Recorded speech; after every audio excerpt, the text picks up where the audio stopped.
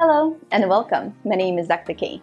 In today's video, we will examine five gait deviations specific to the knee joint complex, secondary to knee joint impairments. Let's get into it.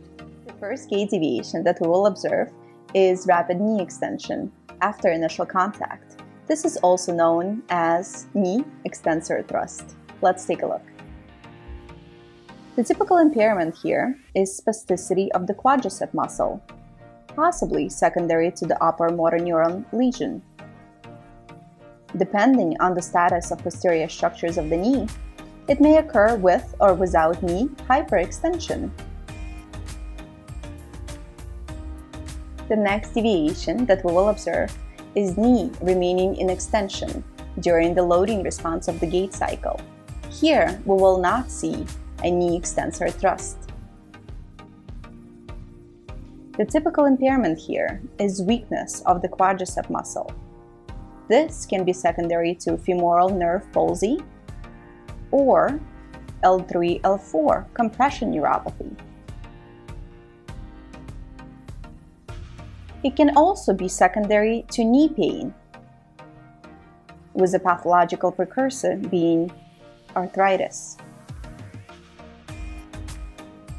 Here, knee is kept in extension to reduce the need for quadricep activity and associated compression forces throughout the knee joint. It can be accompanied by an antalgic gait pattern, characterized by a reduced stance time and shorter step length. The next gait deviation that we will observe is genu recurvatum, or knee hyperextension during stance. Typically, the likely impairment is knee extensor weakness. Can also be caused by poliomyelitis. We observe genu recurvatum secondary to progressive stretching of the posterior capsule of the knee. The next gait deviation that we will observe is flexed knee during the stance phase of the gait cycle and lack of knee extension during the swing phase of the gait cycle.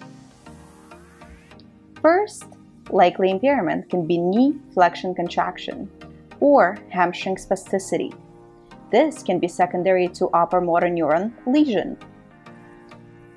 It's associated with increase in hip flexion and ankle dorsiflexion during stance.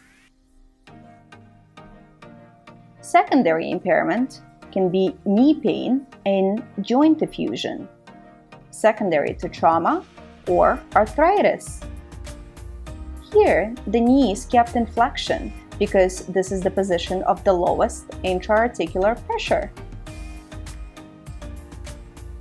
And the last gait deviation that we will look at today is reduced or absent knee flexion during the swing phase of the gait cycle. The first impairment here can be spasticity of knee extensors, secondary to upper motor neuron lesion. The second impairment can be knee extension contracture, secondary to immobilization or surgical fusion. Typically, we will observe compensatory hip hiking and or hip circumduction can be noted as well.